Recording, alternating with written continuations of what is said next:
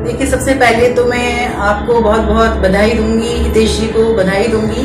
कि जो इन्होंने इस चीज़ के लिए महिलाओं के लिए सोचा और महिलाओं के लिए एक ये वैश्य भारती पत्रिका निकाली है जिसमें पूरे देश की चुनी हुई महिलाएँ जिन्होंने अपने अपने क्षेत्र में आ, समाज के लिए कुछ कार्य किया है उनके कार्यों को दुनिया को देश के लोगों को सामने दिखाया है लाकर। तो इसके लिए आप लोग बहुत बधाई के पात्र हैं। और मैं यही आपसे को चाहूँगी कि आप आगे भी निरंतर इस तरीके के कार्य करते रहें। और जो वर्ग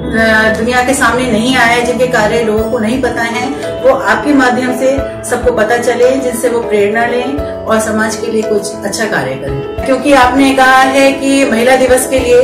तो मैं तो सभी महिलाओं की तरफ़ से आपको बहुत बहुत बधाई देती हूँ और शुभकामनाएँ देती हूँ। क्योंकि जो महिलाएँ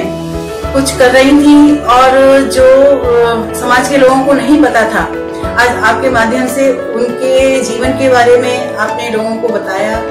और महिलाएँ अब उस चीज़ से प्रेरणा लेकर अपने और आगे